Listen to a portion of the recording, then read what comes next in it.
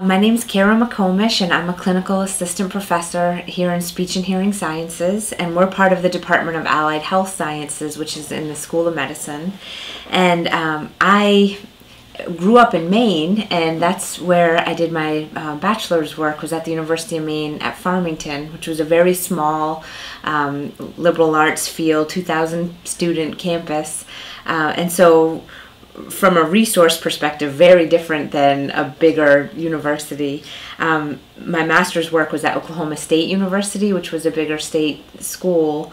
Um, and then I worked for a few years as a speech pathologist in early intervention with children birth to three.